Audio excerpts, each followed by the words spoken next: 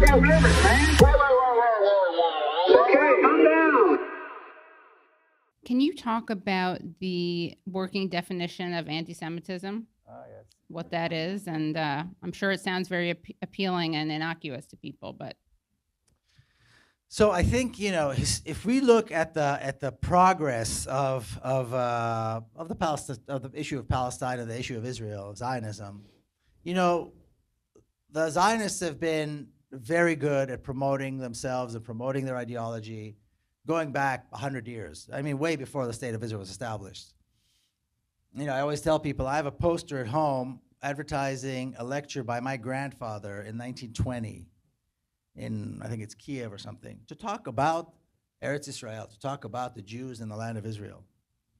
And he was part of this very um, uh, pretty sophisticated group of Zionists who are well spoken, who were doctors and whatever. secular. You know, right? very secular. They didn't look like Jews. They shaved their beards, of course, and they, you know, and they. So the Europeans, the Americans felt like they could talk to these people. They didn't look like Jew, you know. Uh, and so anti-Semitism kind of didn't apply to them. And uh, and they, you know, they're the predecessors of AIPAC and the Jewish lobby and or the Zionist lobby that we know today.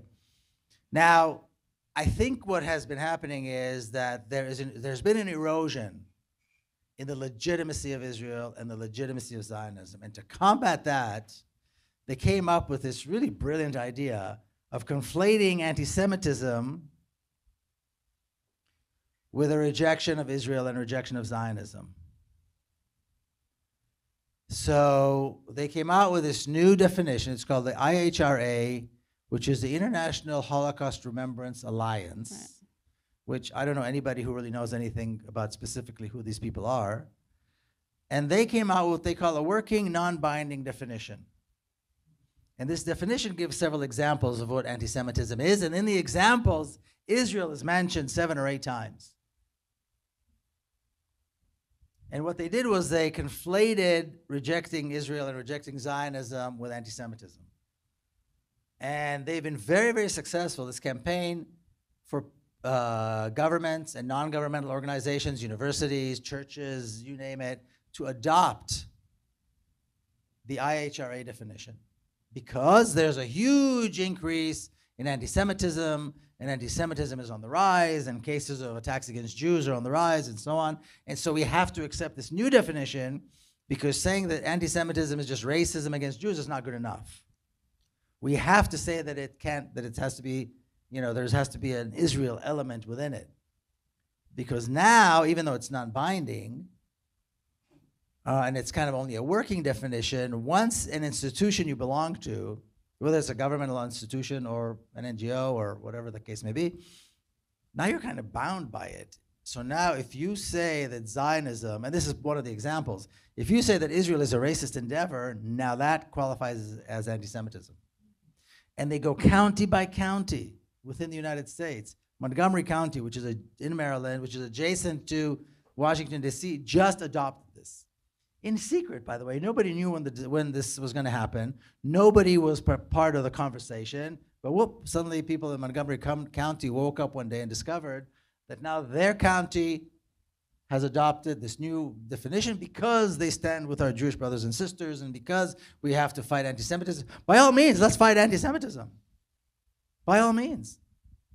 Racism has to be, you know, there has to be no tolerance for, for racism. There has to be no tolerance for anti Semitism which is why we need to be in opposition to Zionism because Zionism is, an, is a racist ideology. And they know that.